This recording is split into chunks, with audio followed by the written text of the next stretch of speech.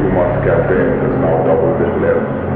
We find ourselves having departed from the Pacific Ocean through to the Southern Ocean, then the South Indian Ocean.